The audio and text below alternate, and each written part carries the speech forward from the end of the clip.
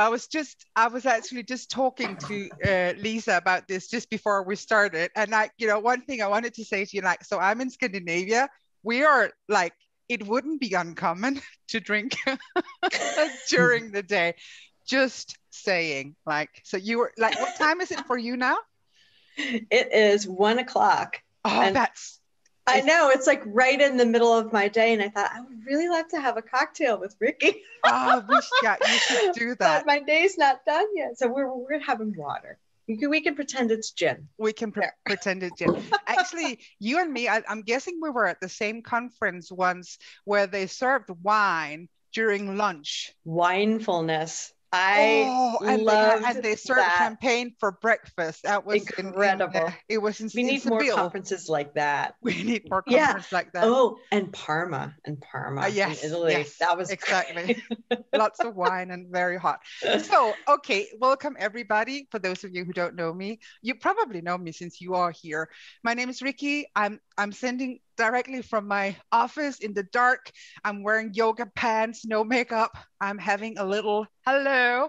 And uh, the concept of this is that I talk to awesome people about things that matter. And uh, and Lisa Coyne, shall I say Mrs. President? no pressure. Why don't you no tell pressure. people who you are? But I know you and I love you. Oh my and goodness. Who are you? Um, well, I am, I live in Boston. I am a clinical psychologist. I have done many, I've played many different roles, I guess, as a clinical psychologist. I have been a tenured professor. I have run my own, I've started my own clinic, two clinics now.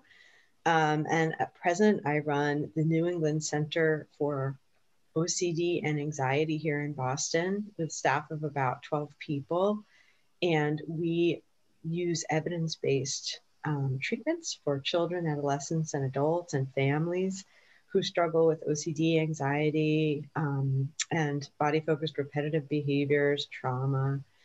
And I really love what I do. Um, I am very, one of the things that's really important to me in my life is being of service. It's a value. And so I do a number of service roles. Among them, I'm the president of the Association for Contextual Behavioral Science, um, which is an honor. It's probably the biggest honor I've, in my life. Um, and I do quite a lot of work for the International OCD Foundation.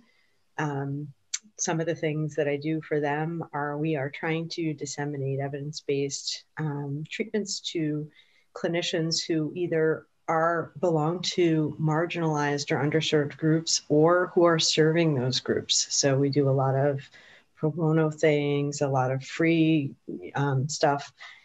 And I have two kids. Um, one is in college. She's 21. Her name is Josie. She's fabulous. And I have a son, Rory, who's 15, soon to be 16. Oh my goodness.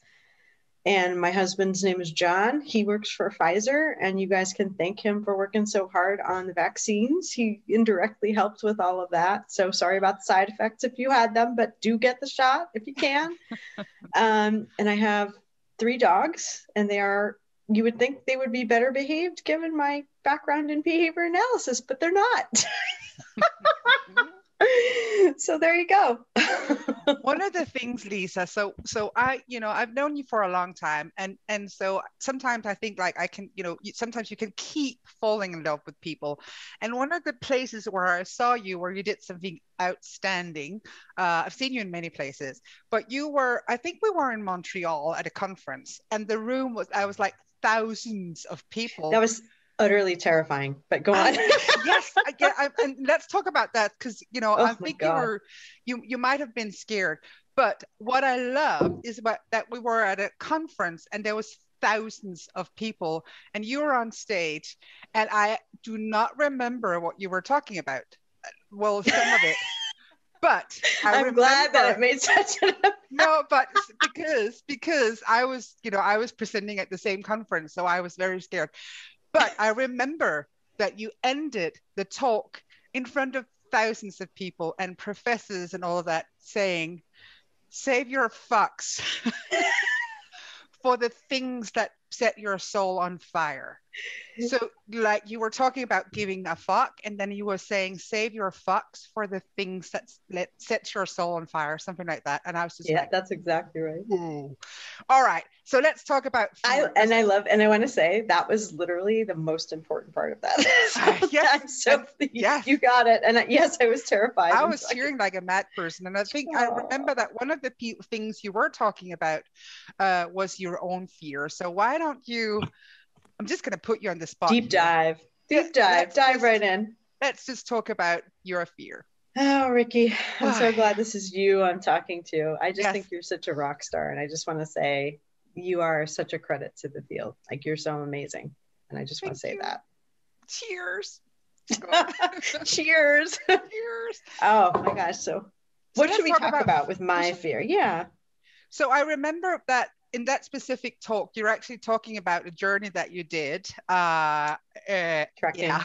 Yeah. Yeah. where you were exposed to your own fear and you made an important i think bridge between that and the things that we do as there i know Yeah. not, might not everybody be therapists here but working with people who are um, who who knows fear and i just Yeah. thought it was so beautiful when you spoke about your own fear so Sure. I'm Would you happy tell to us tell about that, that? story. sure. Yeah. So, um, you know, my daughter's 21 now, but when she was a senior in high school, and in the US, that means 18, secondary school, the last year of secondary school, um, I wanted to give her a gift. I wanted her to give her an experience where she could learn that you could do anything if you put your mind to it. And so I, we have a very good friend, a mutual friend, and Rikke has been on these trips too with her mom, who I heard all about. we should talk about the bus ride. Oh my God. anyway, so we have a friend, a mutual friend, Louise Hayes, who runs a trekking company in Nepal, and she had just listed her, um, you know, trekking calendar, and they were going to go to Everest Base Camp in Nepal. Now, when I was little, I was what you would call back then a tomboy.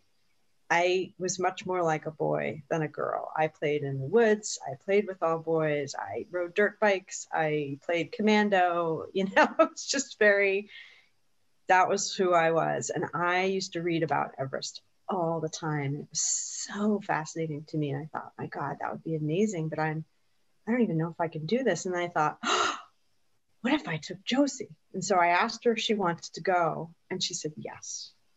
And she had to bend over backwards to figure out how to do this. She had to talk to her teachers and take time off her senior year. And it was really hard, right? So she had to face some things that were hard, but she did it. Getting ready was hard. This this is all about choosing and valuing because all of the things we had to do to work up to this were very hard. Lots of fitness work and stuff, but we made it. We got there, and we were very excited. And you would think I'm like somewhat of an intelligent person having a doctorate, but I did not think of this. I actually have a massive fear of heights. and somehow it didn't occur to me that that could somehow come into play trekking in the Himalayas, but lo and behold, it did. And my fear is pretty pretty big. Like you know, if I can't, I freeze. You know, have have you ever had the freeze experience where like you literally can't move? yes I that yeah that is that happens to me. I can't move to the edges of, of things that are high up. And I thought, well, crap, this is this is inconvenient. so what are we going to do about this? And I thought, well, I'm an exposure therapist. This is what I teach people, so I can do this. And so up the mountain I went. I thought I was doing a good job at this, and what I noticed was that no matter how many miles I walked, it wasn't getting any easier. I wasn't experiencing any sense of mastery or self efficacy. I just always felt the same level of being scared. And I realized that I was doing what I teach when we teach exposure, exposure and response prevention and exposure based treatment. We don't assume people know how to actually do that. Okay. We teach them how to do it right? And that is a longer conversation. We can talk about that too. But I realized that what I was doing was not doing exposure well because I was protecting myself from feeling the anxiety by white knuckling, right? And what that means is kind of approaching something, but without any willingness to actually feel afraid. And I thought, well, crap. So I've got to actually think about like, well, what do I need to do different in order to do this well? And I realized there were certain things I was doing to protect myself. One was going really fast over the narrow parts. Two was I was focusing my attention only on the ground, right where my next footfall would go. That's it. I wasn't seeing anything. The only thing I was looking at was this maybe, you know, small patch of earth right in front of me. Um, and I wasn't letting anyone know that I needed help. So mm-hmm. those were three things. And I thought, okay, so I know what I need to do. So the first thing I did was I slowed down. And then I would even stop because that felt scary. It felt somehow that gravity would just, someone would turn the gravity button off and I would just fly off into this into the sky and that was terrifying so i would stop which was scary. And then i thought about where am i where's my attention you know? And i thought about what do i want this trip to be about? Like do i want to just remember this small square i'm looking at in front of my feet or do i want to like be in the mountains? I'm i'm maybe never ever ever going to come back here again right? And I wanted to see them. I brought a camera, um, and I was so I had to look. I had to open my eyes and I had to look and I had to look over the edge and I had to spend time being terrified and also taking in all of this beauty that was just absolutely breathtaking in every way.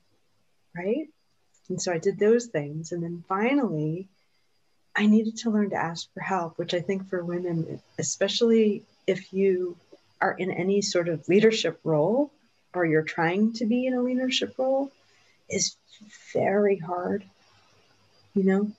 Or if you have a trauma history, like one in four of us do in the US, and you've been disappointed and you're asking for help in the past, it's not come when you've most needed it. That's so hard, right? But I, I, you have to learn to ask for help. And so I would ask our guides you know, if it was a really scary spot, I would swallow my pride and say, Will you hold my hand? And they did. And it was great. So, so this got me all the way up whoa. until, yeah. Just do a little whoa.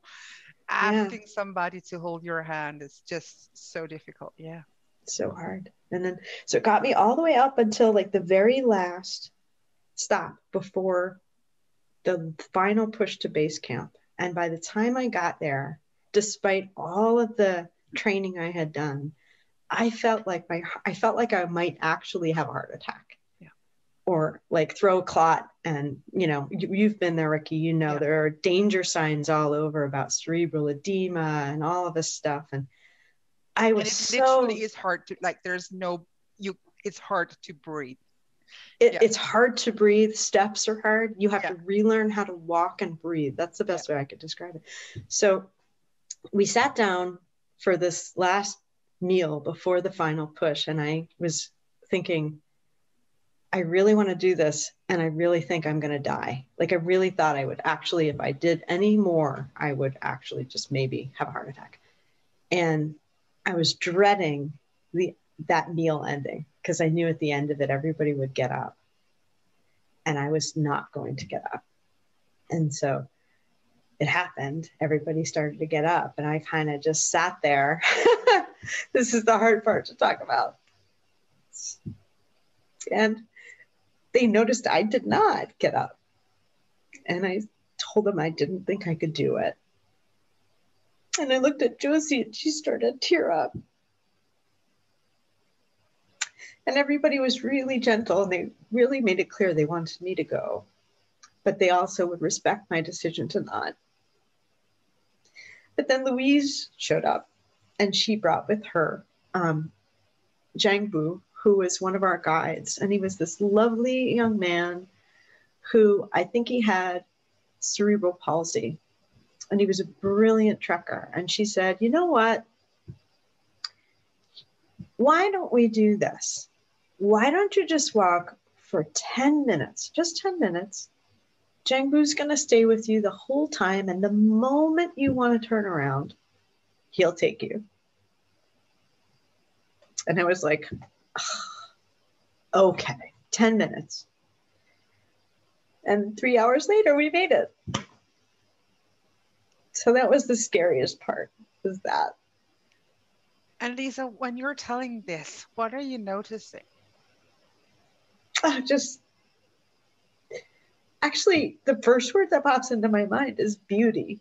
Yeah. You know, it's just the beauty of the experience. And it's the same thing that I feel when I'm working with with young people who are facing their fears.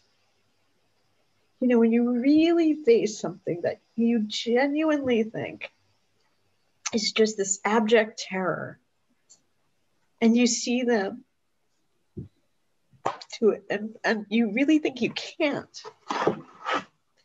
So that is what I bring to the work that I try to bring to the work, that I try to teach young clinicians like we are capable of so much more, so much more than our minds think we are. We really, really are. And I would say that that is probably the most profound thing I learned on that track you know, because you can know that for other people and you can believe that for other people and also not believe it for yourself. Yeah. And that's what I learned. So that was kind of neat. I I I just want to thank you for sharing with all of us. It's very moving and and and you know again one of the reasons why I love to to talk to you and listen to you is because you do have a way of uh, being so incredibly brave and authentic. Um, I don't feel I, that way all the time. Keep well, I think it kind of comes with the, you know, that yeah. part of the authenticity that you don't, we don't feel like that all of the time. Yeah. And I just love these, like you said that there were three things that was important. One thing was kind of slowing down and, yeah. and, and being in the scary shit, if you will. Yes, exactly another thing is that was kind of you know broadening your attentional and and you know behavioral repertoire so that you notice more than the yes. you've you know dirty boots. Exactly. And then asking for help. Like those are for for me that you know those are just profound life lessons. So they just really out of were. curiosity i just want to uh, pay attention to the chat here. You can either chat with us or you can come on and so I would be um, I would be interested in like the people who are joining us here, if you would be willing to write, I will, and I will not call out your name, uh, and you know, so but if you would be willing to put in the chat uh, what what are you afraid of so that we get a sense of what is it that we're afraid of in here mm. I had so while while we're waiting for people to write uh, their answers, I had a somewhat you know you know of that, uh, but I you know it I it has occurred to me that fear is not a natural part of my repertoire. Like I really? Will, no, I will do sad and I will do uh, you know I can do fear of failure, but like actual it's never I've never had that you know a lot in my life. It's i can more like i can get stressed i could get so uh sad uh, etc but when i was in nepal i was like i was having fear in a way that is just like so i i really your experience resonates with me i was mm. sure like i was lit i was sure i was not coming home to my kid like i was this is the end and I mm. just, you know, yeah, I, am not encouraging everybody to go. Well, you should go to Nepal with Louise Hayes, but you know. Yeah, you should. I think, I Highly recommend. so if you want like to, to fear exposure, you you can oh, yeah. that, and so it's much more than that. I can't wait to go back. but of course, that was an extreme experience. But um, that's just gonna, gonna say here. So there are people who are afraid of people, afraid of heights, afraid of success, not being good enough, afraid of love, other mm-hmm. people's opinions and being true to myself, being left, putting myself out there, hurting the people I care about, One more is afraid of heights, not being good enough, being judged, not being good enough. Uh, Amy says, well, I'm calling you out, Amy, but it isn't for me either, Rikke. Uh, and I'm thinking, I, I, I think you're might referring to what I just said about fear and your repertoire, expectations from others and of spiders, not being good enough, relationships failure and not good enough, fear of mm-hmm. trying new food, not being strong enough, too old, not living up to the expectations, afraid of being hurt, not being good enough.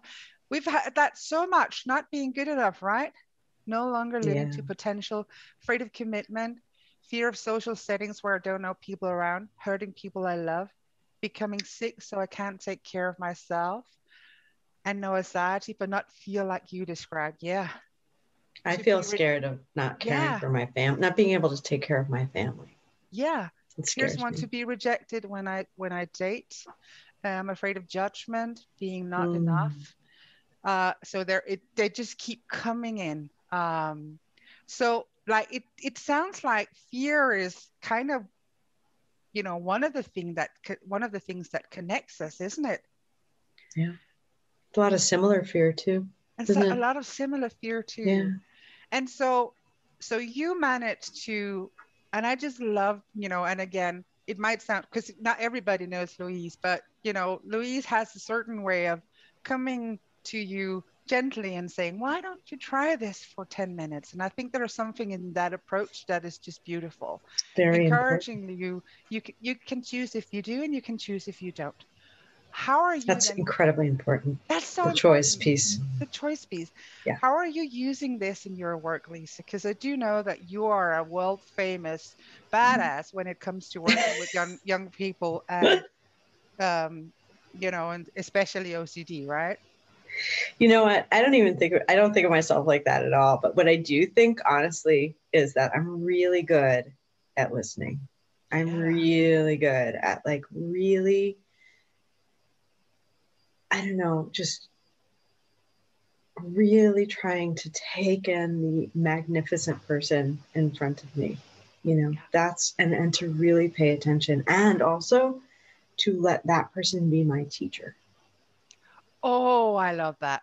What does that it's mean? really important. What it means is that, you know, we're so accustomed to, I mean, maybe not this group, but I think that when we think about mental health issues and issues of, you know, disorder, we think of that as weakness. And actually, what I see is incredible strength and resilience.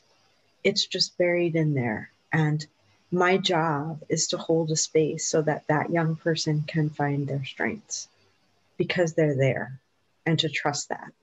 And that's that's really central to no matter what the approach is that I'm using, it's having that deep trust of this person in front of me. Um, they're exquisite and, and really just appreciating them as a whole person. Um, I think that that's that's really the most powerful thing. And then once you do that and you hold that space, think the answers for how to help guide them arise.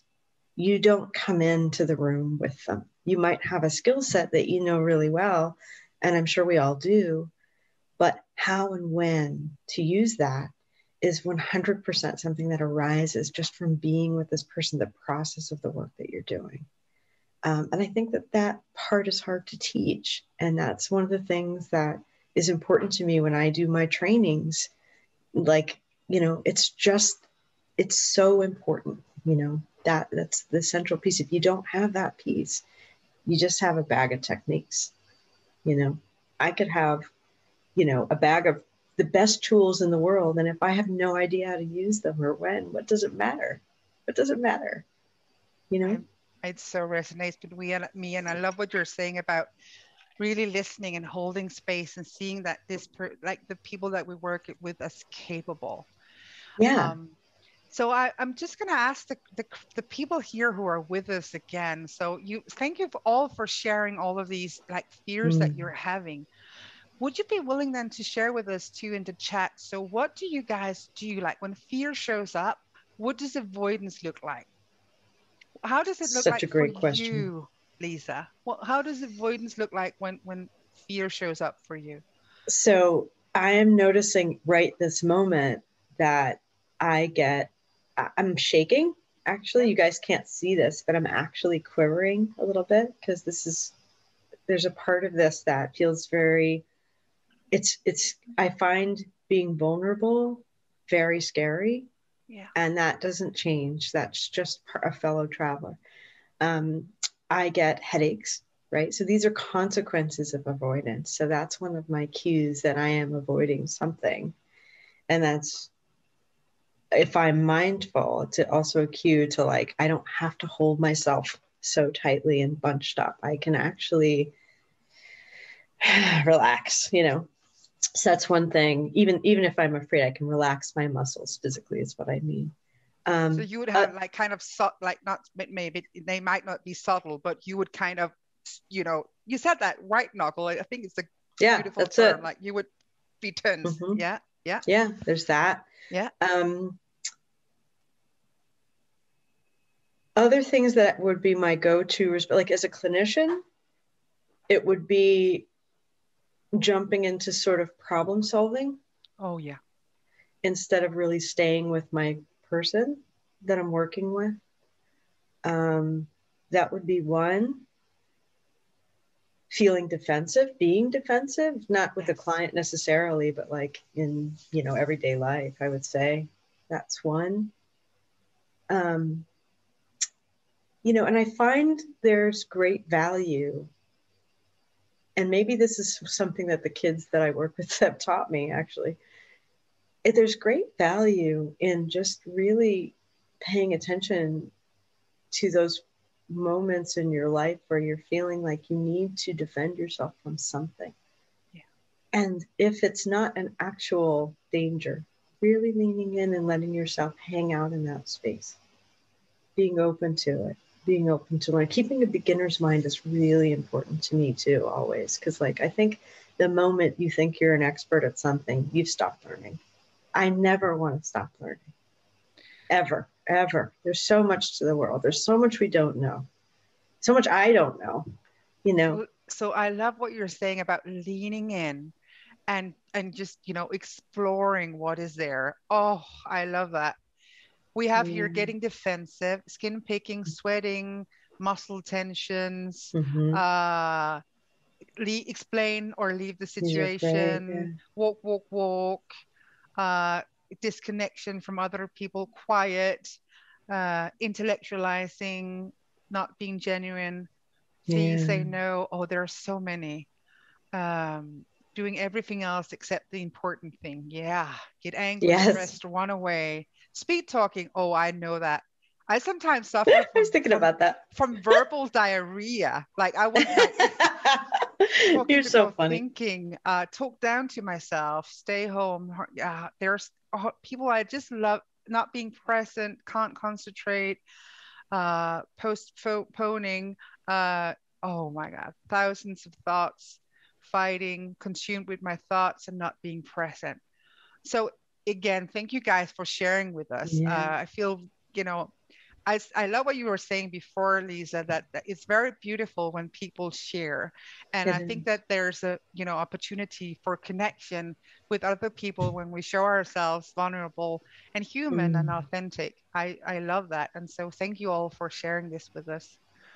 So And as you're saying that, Rikke, like one of the things that's popping into my mind is I think this is definitely true for me, and I wonder if it's true for some of our, our folks who are listening, is like hiding those pieces of ourselves that we find unacceptable, yes, that our minds tell us are not okay, that are not enough, that are shameful, yes, that are damaged, that are Yes. broken. yes. Yeah. So hiding that. Hmm. And it's, a- you know, it, uh, it can be very vulnerable to show the world, right? Can be very vulnerable. Yeah. So knowing that, well, I don't know, but um, some of some of the people who are here, I think many of the people here are working, like are professionals. Maybe not everybody, and uh, but I think that what you said before, despite the fact that we're trained in this, we kind of forget our skills.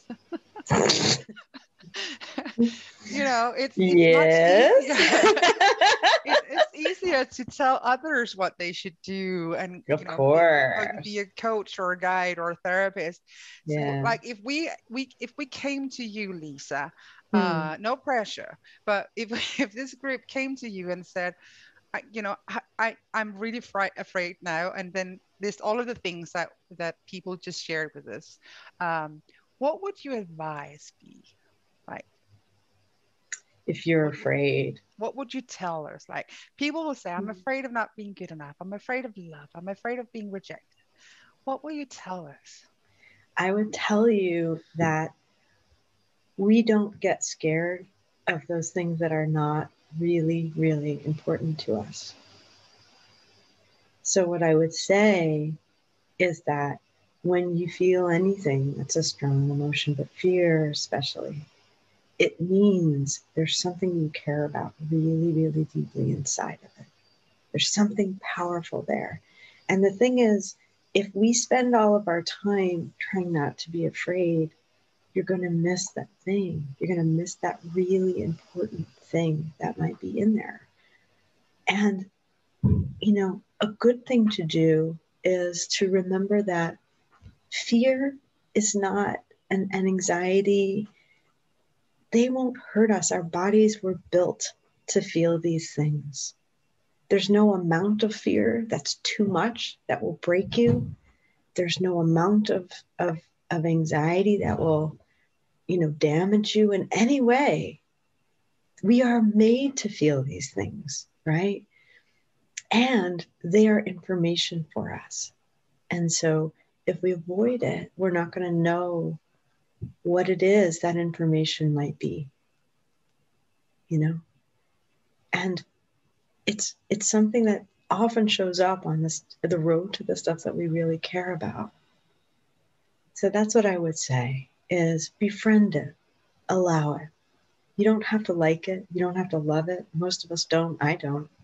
You know, but here's the thing like you know i've had social anxiety for like so many millions of years at this stage and i used to not talk. I used to not give talks. I used to not present at all because it was just i'd have panic attacks period right?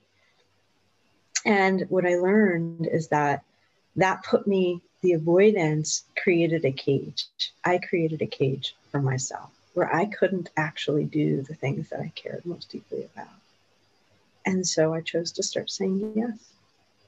And what happened was, you know, years later, I give talks all the time, and sometimes I'm anxious.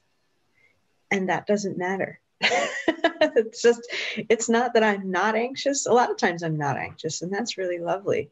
But that doesn't matter either. What matters is, am I choosing to do something that matters to me, right? Like that I care about. And if I care about teaching, if I care about being of service, right? And lately, the older I get, because I've been here for over half a century now, not to date myself, and I know I don't look it right, right? No, right? No, you do not. anyway, um, you start to really think about like, wow, I really need to. I mean, I have less time. How do I really distill those things that are really the most important to me. And to me, it's about dissemination, right, of, of these things. It's about teaching. It's about not just this person in front of me, but how can I teach clinicians? How can I, right? Another thing that's a, a huge thing is I am so privileged. I am so, I'm white. I am middle class. I, you know, I, I, I, I am cisgender my God, what gifts, right? Well, I want to use them. I want to use them to amplify for those people who were denied those gifts and who didn't deserve that. And so that's the other thing that's really important is how can I use this, what I've been given to right these disparities and these wrongs? How do I do that? And so I'm my that's where my mind is. And I'm always afraid of doing it wrong and saying the wrong thing and pissing people off and all of that. And that's just part of it. That's part of the process. Like, how do I keep moving forward, even if that happens, even if I make enemies, even if I fail and people think I'm stupid and an idiot and did it all wrong? If that's what it takes to pave the way for someone else, yes, I say yes. And that's what I mean. It's like when you start leaning into the things that are hard and those things that you're scared of, you really learn you can you can generalize that practice to anything that's hard. And that's the the incredible resilience you see in these kids that we work with with anxiety and OCD is they've been given this horrific burden that also could be if they choose, right? To learn from it, an incredible gift. You know, not that we'd wish it on anyone, because that pisses them off to say that, especially when they're struggling, right? Truth be told. But we can either struggle with it or we can say, you know what, in this wreckage, where are the jewels? What can I pull from this that's of value? And that's that's important to me, choosing to live my life in that way you know, I I I think I speak for everybody when I say like this is why you are such a great inspiration to so many of us, Lisa. This is just whoa, it really you touch my heart in so many ways. That means a lot. Thanks. I wanted to ask you about uh, that moment when you asked for help. I'm just before before I ask the, the, the, the question. I hate asking for help. yes, I'm just going to go out into gallery mode. So I'm now looking at everybody, people who are drinking, knitting, playing with babies, and you know everybody. I love that. Bring ask, babies. yes, I'm just going to ask the crowd here, and so many of you, many of us are helpers, and by, by all means, you don't have to be a helper to be in yeah. this bar with us how like can we just can we get a thumbs up or a thumbs down like are we are we good are you good good i don't know well are you are you asking for help a lot like it can, thumbs up or thumbs down like how skilled at we are Who we asking for help I can relate. Everyone's like, yeah. Lena is someone. Amy is, Amy's, yeah, yeah, baby. Good for Maria, you. hey, baby. So some of some are, but most of us aren't. So what was that like for you? Because you know that you were you were not in Nepal when you were three. Like this was just no. like it was a few years ago. What was that like for you, Mrs. President, Dr. Coyne? right? Like all these names that like expert. It's so funny. I hear those and I'm like, who are you talking about? Yeah, exactly. yes, I know, I know. It's a hot mess. What are you talking about? so like like you are like I you're spending your days teaching people about exposure and there you're finding yourself on a mountain unable to move. Yeah. how, uh, so how like how does one do that? It's hard yeah. Um, and I think the first thing is to notice the stories we have about asking for help. And I, I want to answer the question directly because I don't want to talk about what to do and teach it. I want to actually like put myself back in that position. And like I, I'll tell you, actually, can I tell you a story of a more recent time I asked for help? Yes. Okay. So I have a bad reputation. That's true. And the reputation is I don't know if this is, I don't know if you guys know this, but it's, it's actually, I think, accurate that I do, I take on a lot of things with the best of intentions and then I drop balls. And I am constantly, or have been constantly berating myself for why can't I do things as well as other people? Like, why am I dropping balls? What is happening here? Right? And I had a good friend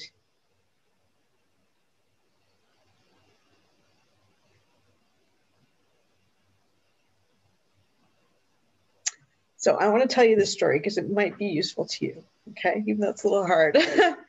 I have a good friend, Evelyn Gould, who works with me, and she's sort of a partner in our business, and she helps um, train clinicians with me. And she said, "You know what?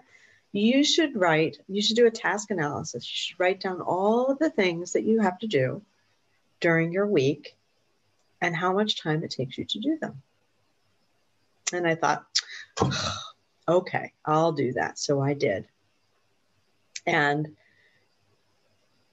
I wrote all of them down in an Excel spreadsheet, all the things I should do. And I wrote down the time it would take to actually do all of the things. And guess how many hours of the week it would have taken? I would love to hear what you guys think. Just guess. You could guesstimate. A lot. Guess 60, 200, 100, 60, 80. It billion. was very close. it was 106.5 hours. Whoa. And I want you to think about the math there. How many hours would you have to work each day? Yeah. How much sleep? And I I saw that number.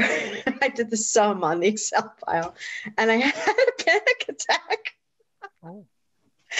And I thought, I am going to actually kill myself if I don't figure out what is this about?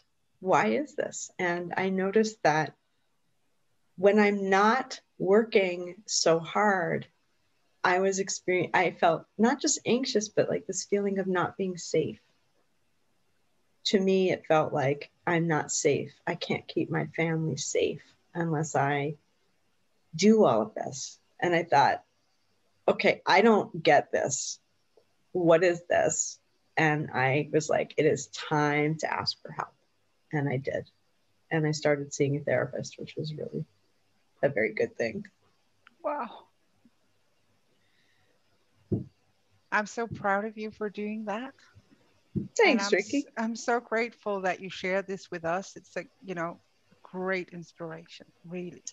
Well, I, the, the reason it's important for me, I think, to say this is that I think it is really hard for women to, you know, based on history, but based on culture, to not think that we have to do more and better yeah. all the time. And to that, if we feel, we often feel like to ask for help means we're vulnerable. Yeah. And we have to do that. We have to take care of ourselves. And we have to start looking at these stories that we have culturally that keep us down, right? And I didn't realize how deep in the hole I was. You know, but thank goodness I have good friends that look out for me. And one of the things that I, though, if I can share a story, so uh, you know, some of my, I see that some of my trainees are here, so you might have heard this, but I, uh, and I don't know if you heard this, Lisa, but when I was in Nepal, um, I and as many of you know by now, I brought my mom with me, and she was 71 about that time. So she's a tough old lady. I heard all about your mom. yes. She's uh yeah she's there she's yeah we could do a week of podcasting just about my mom and that we came to this place where like later we would talk about it as the wall like it was literally it was so steep and there was we were like there how, yes. how are we going to get up here? And my mom, uh, I was kind of in problem solving, like how how do I do this? And my mom, she was sure she couldn't do it, and she absolutely lost it, like mm-hmm. just lost it. And I haven't seen that, like so. I was like so uh, affected by this. Like I saw my mom being so scared, being so overwhelmed, oh. saying like, I, I, I know what you're saying, but there's no way I can get up there. And the guides came to her and they said, Oh, you know, can we carry your bag? Can we hold your hand? And sh- her response was, Oh, no, no, no, no, no. I packed these bags myself. I chose, you know, I, I, I booked this trip myself. I chose to come here. I don't want to be a burden.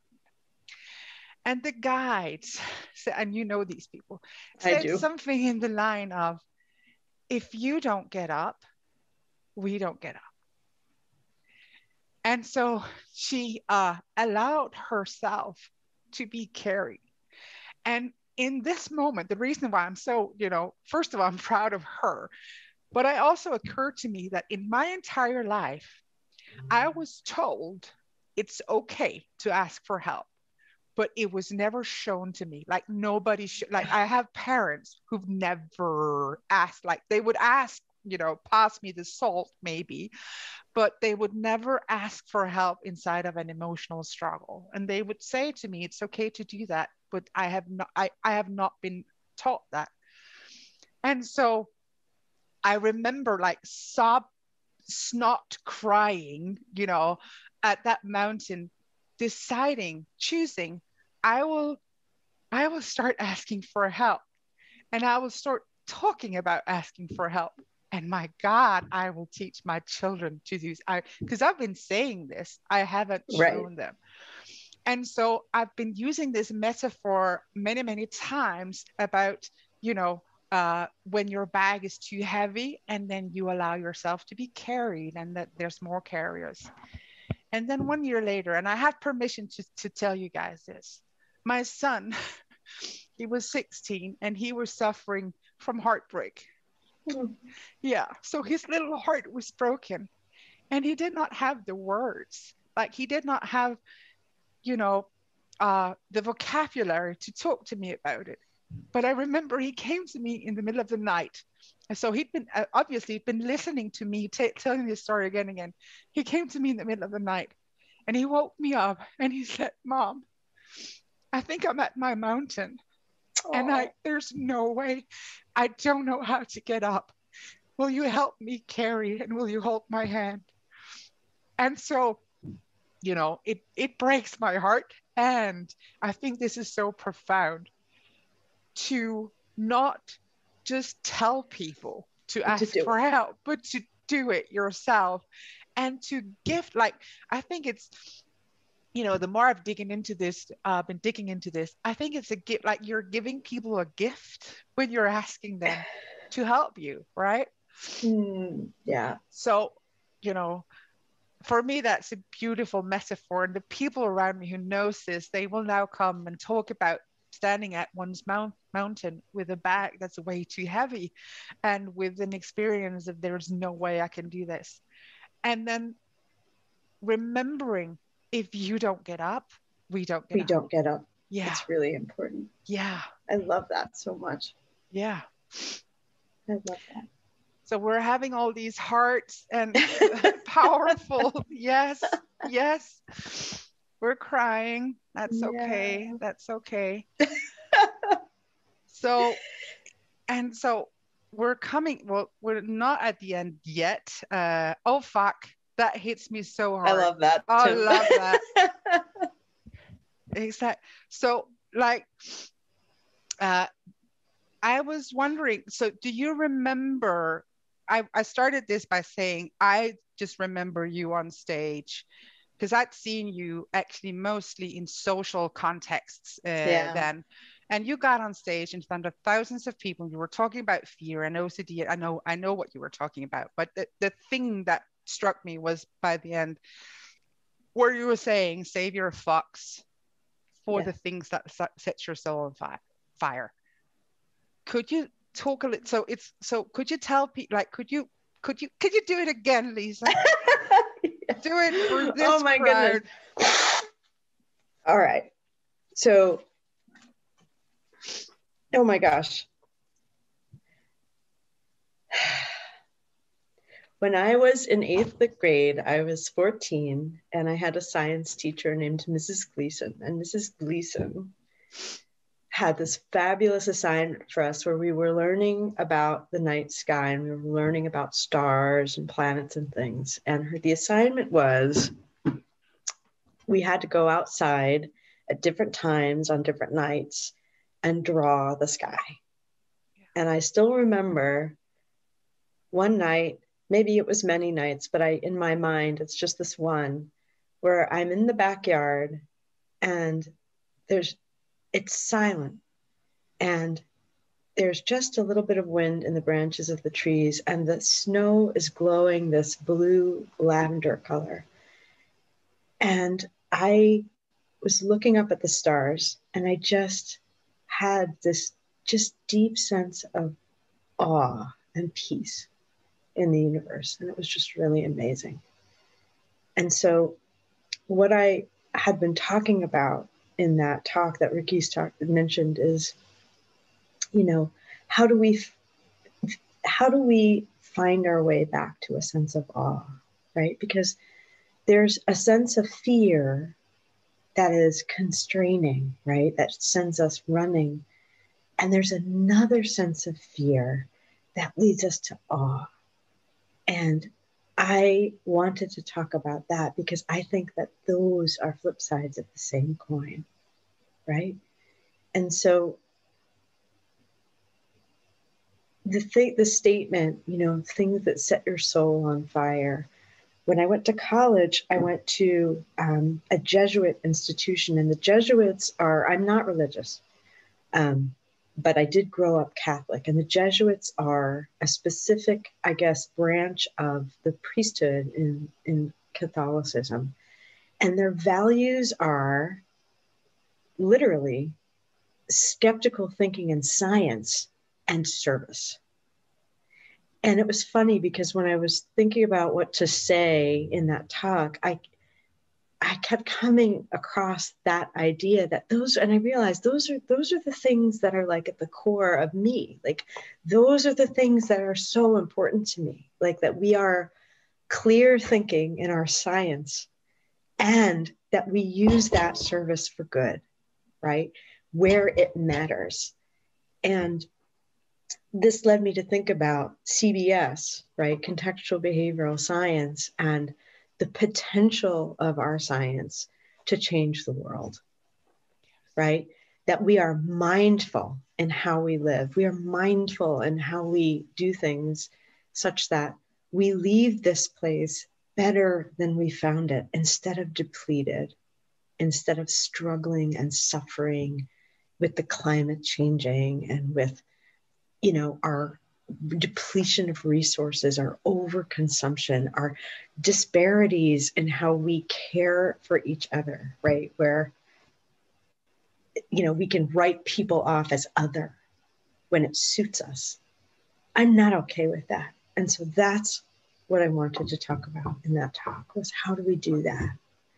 And so I, we have only so many fucks we get in our life, right? And there's a lot of stuff. Sometimes we give too many about the wrong things, you know, and this is, I don't know if this is an American saying or not, right? But, you know, there's such bullshit that we can let go that just doesn't matter. Like what people think of us, who gives a fuck? Really? Who fucking cares? Right? But what does matter, right? If you only have so many breaths, so many years, right? So many moments, how do you want to use them? Don't waste your time. Do stuff that's awe inspiring, right? Do stuff that inspires others, right? To inspire them about who they are, right? Even if you don't feel like you inspire yourself, that's okay. That comes along with it. None of us think we're all that, you know? But what does it matter? You know, if we are what we do, choose, right? Choose how to act wisely, choose to be consistent with those things that matter the most to you. And then turn around and see how did it go? Like when I leave the planet, what I want, because I want to know that people are safe. Yeah. And that there's a path of people in my wake that can say, yeah, she helped me and that they help others, right? That I help people and this place be better than when we found it. That's what I want. So, so save yeah. your fox. Save your fox. things that sets your soul on fire. Exactly. Oh. Exactly. And that's a that's time. Who is it? Saint Ignatius said that. I think. You know, save save your whatever for the things that go out and set um, go out and set the world on fire. Yeah. Was one of the things he wrote and that's where the jesuits right? That's where i got that idea. There's so much gratitude coming in here into chat. And I just want to go back to gallery view here. And so I, I don't know what you're seeing right now, Lisa, but I just want you to, you know, look at the people who are joining us now and see if you can see like the love. can you feel the love tonight? and so just yeah Mm. people are sending hearts and everything so just wanted to you know to you, you. to actually see that It's my people- pleasure to be here. people are here with us and uh and i think i speak for all of us when i say that you really touch our you know you really touch our hearts and uh, I know your work, and I know that you can be, you know, um, very, in lack of better word, like very scientific and very correct and all of that. Like you have that You've written, you know, so much. Yeah, yeah. Oh, I have your, literally, I have your book. Uh, I we should like we didn't prepare this, but we should promote the shit out of this. Uh, so you you co-wrote a book with uh with with Jen and- and Fabulous Matt. Matt Boone and Jen Gregg. Yeah. Yeah. It's called Stop Stop Avoiding Stuff, and I had the pleasure of reading it actually before it was um even you know I think printed, and it's it's a book for it's called. Tw- Stop avoiding stuff 25 micro skills to face your fears and do it anyway. And, you know, we should just tell people that this is here and this is for clients, right? So it's, Yeah, it's just for very you. lovely It's for yeah, everyone. It's It's for everybody. So, for anybody. so it, yeah. So thank you for writing that. And Our pleasure. what I was going to say was that you can be very correct and scientific. I'm not, I'm not sure I'm using the right words. And there's something about you, Lisa, uh, Doctor, Mrs. President, that you're also, but you're giving us all a very au- authentic, vulnerable, strong woman who asks for help and who's not afraid to say fuck. And it just That is like, true. I am not afraid to say fuck. and, and, and so just know that you are very inspiring to me and i'm just i'm very very sure that people who are watching you this very moment are falling in love with you again or for the first time as i am doing all of the time. So Rikke, just I wanted to you thank you. Thank you for being for coming here. And so for the rest of you the bar is closing now i'm going to ask lisa just to hang in the bar so because we can you know mop the floors and and you know finish the drink. And so to all of you who are with us right now or who are watching this afterwards thank you so much for coming. And uh, you'll get an email from me with the replay uh, for for this webinar sometime tomorrow thank you we love you and good night Thank you everybody Good night, everyone. So night. nice to see you all. Thank you for coming. oh the hearts the hearts the hearts.